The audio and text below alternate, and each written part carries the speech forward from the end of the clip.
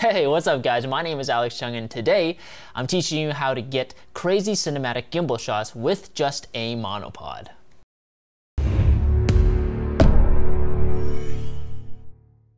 So just about anyone can get their hands on a gimbal these days to get those super smooth and dynamic shots. But today, I'm gonna teach you something that will elevate your gimbal game even more.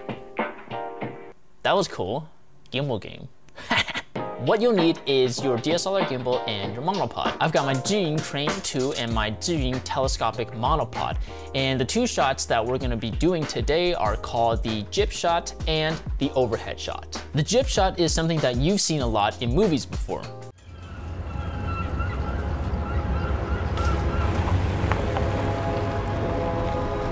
They are very cinematic shots because they have a lot of movement in them and it makes a shot feel more alive and more dynamic. But these are done with equipment that costs a lot of money.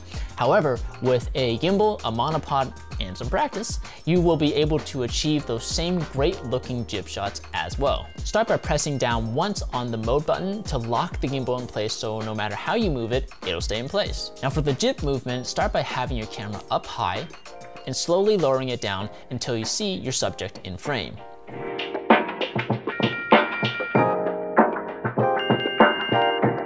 This is actually a really great way to establish the location that you're in and also introduce your character in the same exact shot. The next type of cinematic gimbal movement is called the overhead shot and for this one, there are two different ways of doing it, but you don't need to have your gimbal locked off. The normal overhead shot is when you tilt your camera down and raise it above your subject to get a unique bird's eye view of him or her.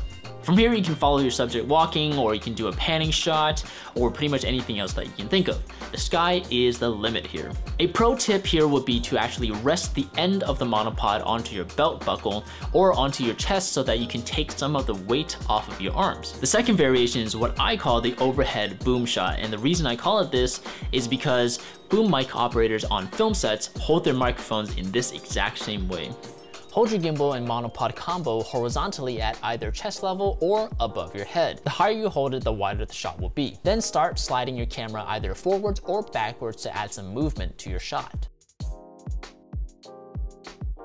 I've actually used this type of shot before in a promo video that I did for a wedding planner.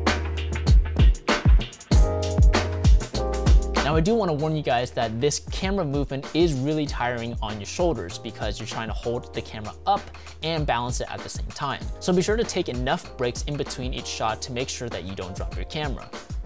Unless you got shoulders like me, baby. Yes.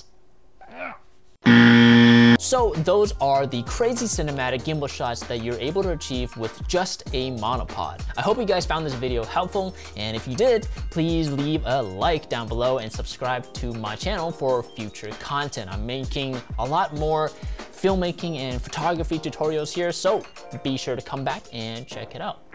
My name is Alex Cheung, and I'll see you later.